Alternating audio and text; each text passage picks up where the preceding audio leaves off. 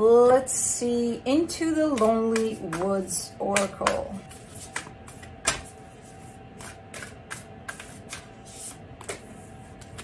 The gifts of the lonely path. There will be times when the solitude feels blissful, the sensation of the air, the scent of the bud, the song, the song of the bird, the wisdom of the trees, the knowledge of the steady earth beneath your feet. When you are so full of the song of the world, you become one with the rhapsody of life as your soul flows forth from the small space in which it has once contained. What once was a void now has become a world overflowing with delight and discovery. What once was darkest is now filled with stars.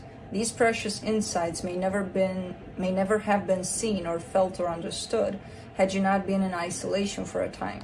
There are gifts here on the lonely path. Receive them and make them yours.